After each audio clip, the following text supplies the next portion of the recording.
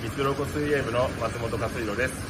今回の社会人選手権は 100m、200m、400m 自由形 50m、100m バタフライリレー種目に出場します、えー、出場する種目全部優勝します。16水泳部の伊沢達郎です。今回の社会人選手権は 50m、100m 自由形 200m、200m 個人メドレーリレー2種目に出場します。日間相当タフな日程になりますが泣かないように頑張ります、えー、せーの総合優勝を勝ち取ります。応援お願いします。どう？よろよろ